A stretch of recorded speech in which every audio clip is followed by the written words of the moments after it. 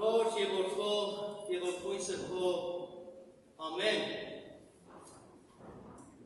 Աստծո որ նորից միասին ենք որ բոլորս այստեղ ենք Տիրոջ տան մեջ այս Սուրբխորանի արժեք եւ Տիրոջը երկրպագեն կփառաբանենք եւ ամենակարևորը շնորհակալություն կհայտնենք այն բարիքների համար որ ունենք մեր կյանքի մեջ մեր առողջության համար իր տված բոլոր օգնությունների օգնությունների համար մեր կյանքում։ Նաև գեղեցիկ շրջան է, շուտով սուրբ ծնունդը պիտի դիմավորենք, այս շրջանը պատրաստության եւ նորոգության շրջան է եւ Աստծո հրավերի մասին պիտի այսօր խոսենք։ Աստծո հրավերի մեզանից յուրաքանչյուրին ասված կդավիրե եւ կգանչե իր մոտենալու, իրեն մոտենալու եւ իրեն ճանաչելու, ճանաչելու համար։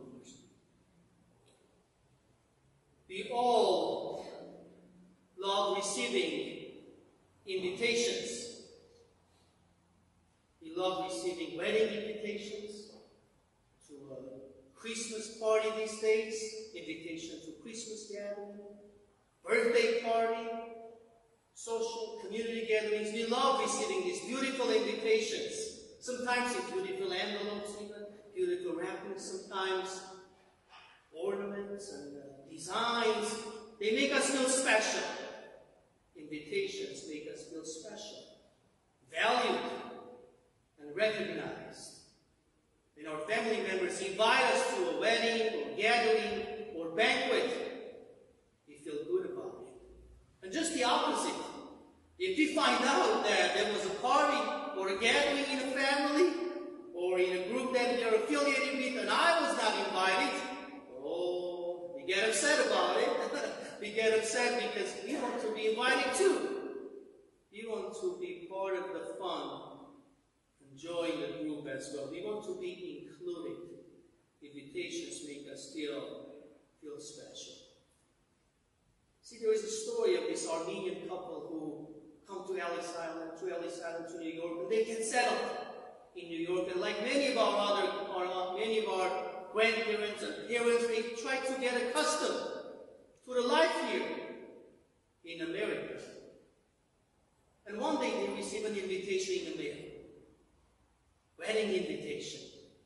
They get excited and they, they open the invitation and on the bottom there at bottom it says RSVP. RSVP. And the wife looks at him and says, How's it going, Jim? What is this RSVP? What is this? Husband looks, what, what, what, is that, what does that mean? RSVP.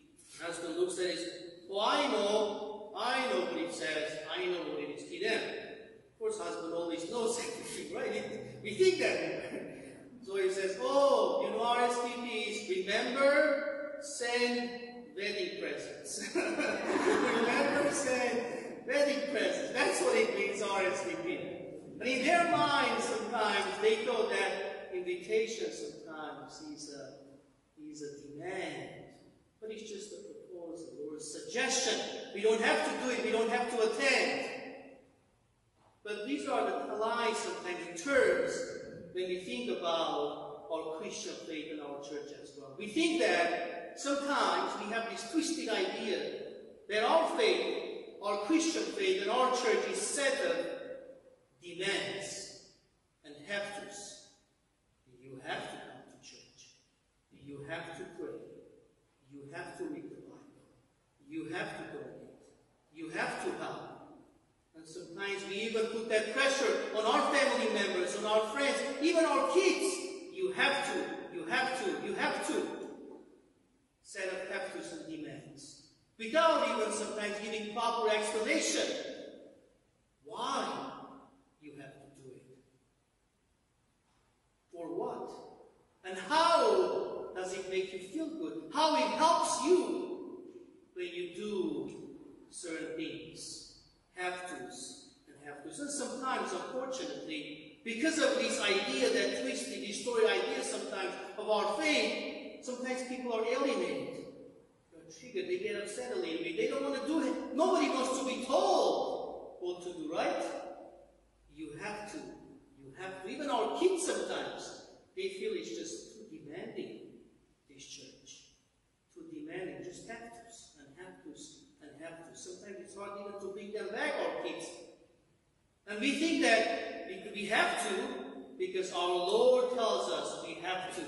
We have to. Christ tells us you have to you have to, you have to. But if we look, that's not actually, that's not actually true. Christ never says you have to pray, you have to do this, you have to do that. But he simply invites, invites us to him. The Lord never says you have to follow me. But he says if you love me, follow me. If you love me, come to me. If you love me, repent and come to me. You don't have to do anything. We have a choice even from God. We don't have to do anything, but if we love the Lord, then we follow him. If we love the Lord, then we come to him. If you love me, you follow me. Christ simply sent us an invitation. I came, he says, that you can have an eternal life. I can, I came that you can have an eternal life. See, at the Monastery of the Etchmiadzin, when you go to Etchmiadzin, hopefully next year many of us will go together. At the Monastery of Holy Etchmiadzin, at the residency of His Holiness in Behara, as we call it. When you enter Behara, there are two set of stairs. One on the right side going up, one on the left side going up. But in the middle of those stairs, staircase, there is a huge and beautiful painting by Marques Surenyans, an Armenian artist, well-known Armenian artist. He painted many icons for us, for our church. Marques Surenyans. It is a painting of Christ standing tall, painting of Christ standing tall. His arm stretched, his hand stretched, and he's looking at you as you enter the residency. He's looking at us as we enter the residency. No matter you take the right side of the stairs, left staircase, he's looking at you. His arms are stretched to you. The painting is called Come to Me, all who are weary and carrying heavy burdens, and I will give you rest. Come to me, all who are heavy, carrying heavy burdens, and I will give you, give you rest. An invitation from our Lord to come, me. Clear invitation, clear direction. You come to me. No one else. It's not about anyone else next to you. It's about you. Come to me. Direct invitation from Him to us. No precondition, no restrictions, no pressure, no judgment. God's invitation is good, and there are many. The bigger question is, how do we respond to God's invitation to us? See, Christ tells us a story today of certain man organized a beautiful banquet. And he invited all of his guests, all of his family members. Everyone received an invitation. Nobody was upset. Everyone received an invitation. The day of the banquet, the servants came and said, The time has come. The banquet is ready. The Lord is waiting for you. Our Father is waiting for you. Come to the banquet. But one of them said, Well, everyone had an excuse. One said, I just bought this land, I have to take care of it. The other one I just got married, I have to take care of my wife. The other one says, I have something else to do, I have work to do. Excuses and excuses. Sunday is my only day I have to rest. Church is 35 minutes away. That's too far. Sunday is the only day my kids play baseball. There's a peaceful in the kingdom of God, by the. But everyone had a had an excuse.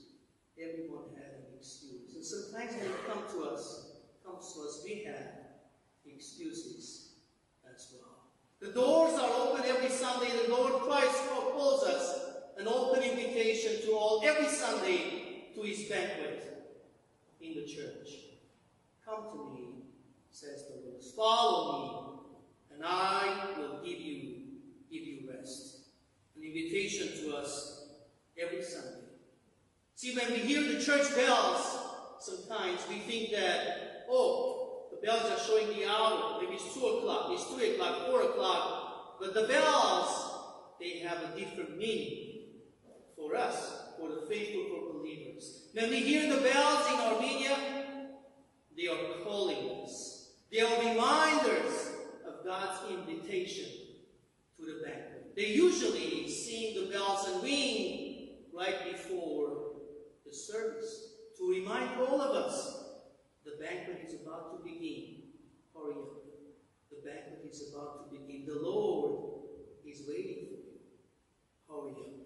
The banquet is about to begin. They remind us that there is urgency in that invitation as well. There is urgency in that as well in the bells.